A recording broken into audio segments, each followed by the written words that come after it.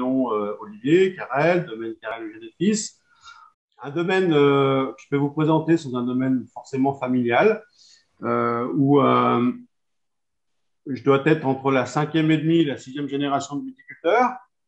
Un domaine aujourd'hui qui représente 25 hectares de vignes,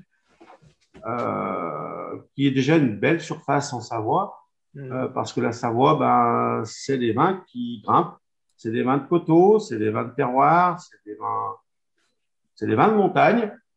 Euh, pour situer un petit peu euh, le domaine, euh, c'est un domaine qui se situe à, comment dire, à une altitude d'environ 300, 350 mètres d'altitude. On fait partie un petit peu de la, des vignes, enfin, on fait partie des, vignobles de montagne. Mhm. pour vous situer géographiquement, Raphaël vous a mis une petite carte. Donc, nous, on se situe dans l'avant-pays savoyard. On est frontalier avec le département de l'Ain. Euh, on, est, on est séparé euh, géographiquement euh, par une barrière qui est naturelle, qui est le Rhône. On est séparé du lac du Bourget par la chaîne de l'Épine, qui fait partie de la chaîne du Jura. et toutes nos vignes sont implantées donc sur cette partie donc au pied du Rhône. Mhm. Voilà. Voilà. Euh, pour vous dire en quelques mots aussi au niveau du, de notre domaine viticole, que je vous ai dit, je suis la sixième génération, exploitation donc familiale. Aujourd'hui, je suis le seul gérant du domaine. D'accord. Euh, répartition un petit peu au niveau des appellations du domaine. Euh, on a trois appellations principales.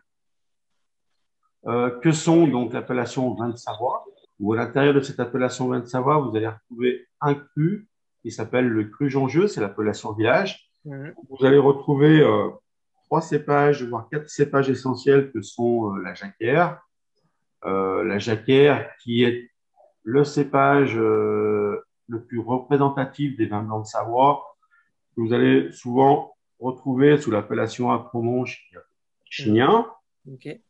Vous avez l'appellation Roussette de Savoie, où là, sur Jongieux, on est vraiment dans le berceau de cette appellation et dans ce cépage, euh, avec notamment un cru historique, qui est le cru Marétel. Euh, mais également, nous avons l'appellation Roussette de Savoie, où nous venons d'intégrer donc la cuvée euh, chez Bleu Blanc Vin sous l'appellation Roussette de Savoie. Là, on est sur le coteau de Marétel. D'accord. donc, c'est un coteau qui a une histoire, qui a un réel historique, puisque c'est un coteau qui date des années, enfin, des siècles 12, 12 13e siècle, mhm. euh, et où je peux approfondir sur l'implantation du cépage Altesse, puisque le cépage Altesse a pris ses racines sur ce coteau. Euh, au niveau des vinifications, pour ce qui est de la vinification des vins blancs, je vais parler de l'Altesse parce que c'est ce qui est par rapport à la cuvée euh, qu'on fait chez, qu'on va, qu'on va travailler avec vous. Euh, au niveau de l'Altesse, euh, j'ai une méthode de travail qui est assez complexe parce que je suis un partisan. Euh, bon, déjà, au niveau vinif, tout est récolté à la main au niveau des Altesses. Tout est en pressurage direct, il n'y a pas de macération particulière. par contre, on fait un, un, travail très lent et très rigoureux au niveau des fermentations alcooliques.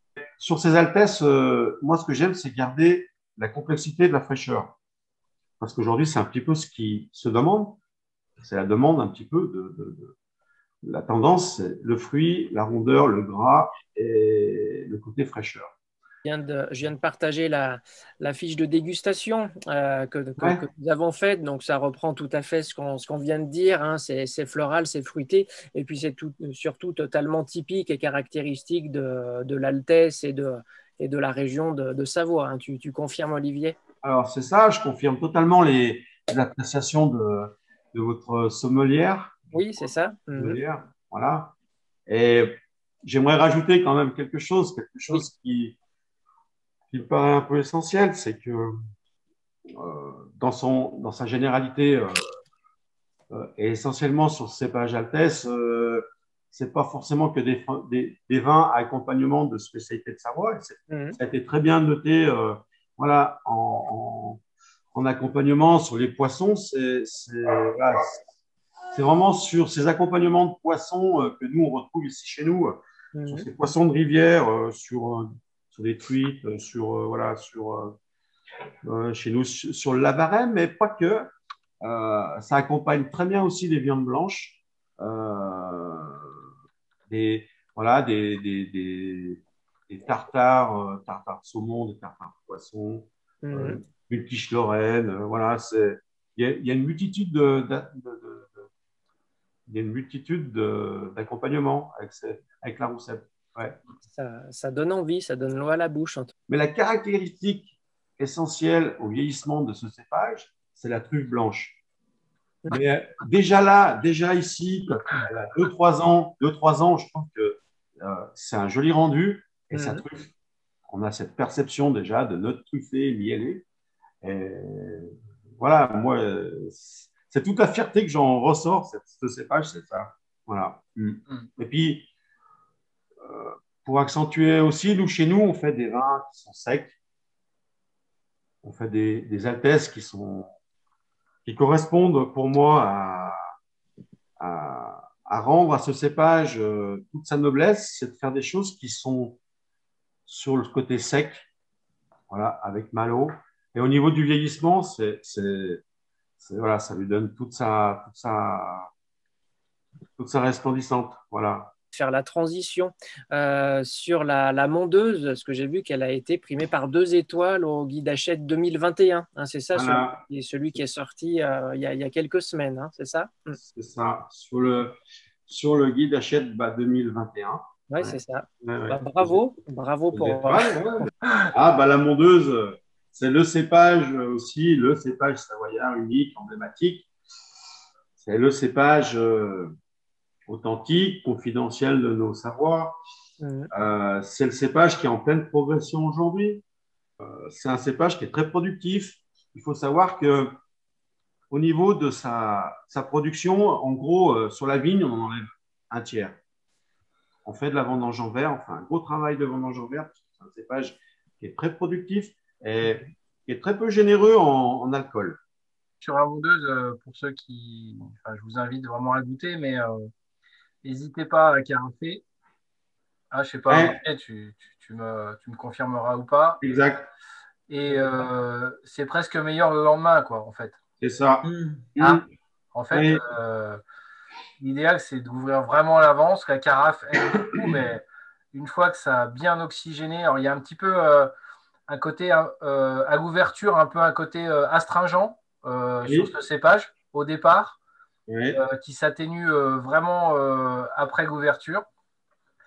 Et une fois que c'est bien ouvert, c'est vraiment sur le fruit. Enfin, moi, c'est un cépage que j'ai découvert et je trouve ça vraiment intéressant. Je voulais savoir, qu'est-ce qu'on qu'est-ce qu'on mangeait avec la avec cette mondeuse?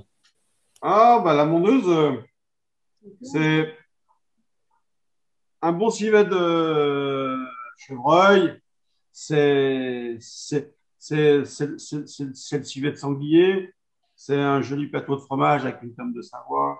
et puis, charcuterie. Euh, charcuterie, voilà. Et puis, pourquoi pas une côte de bœuf, hein, euh, je veux dire, l'été, euh, avec la fraîcheur qu'elle peut démontrer aussi, ce cépage, bah, pourquoi pas une, côte de bœuf, voilà, grillée. Et euh, bah, Olivier nous propose une offre de lancement. Vous savez qu'on aime bien faire des offres suite, suite à ces apéros. Des 5 égale 6 sur les deux cuvées et jusqu'à jusqu'à la fin du, du, mois de février. Donc euh, profitez-en, on a déjà un super rapport qualité-prix. Merci, euh, merci Olivier en tout cas d'avoir joué le jeu avec nous. merci beaucoup. Ah, bah, écoutez, moi j'ai été très heureux en fait d'avoir été sélectionné parce